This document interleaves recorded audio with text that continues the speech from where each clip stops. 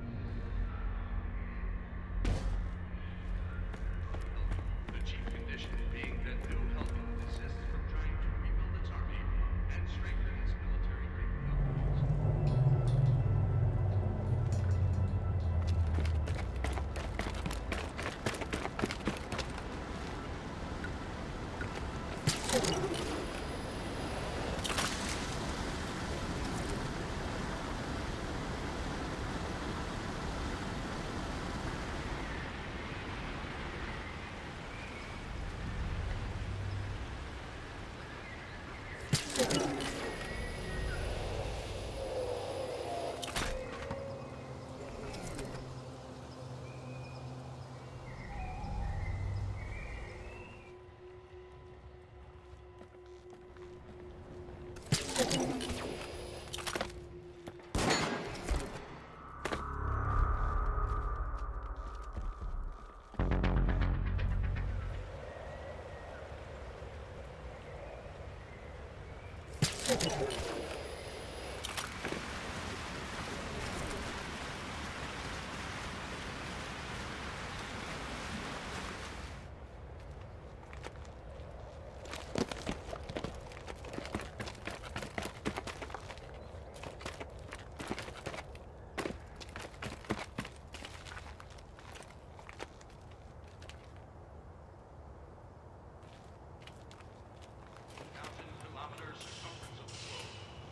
passing through 12 cities and two continents, making it the largest freestanding structure in over 500 surveyed worlds.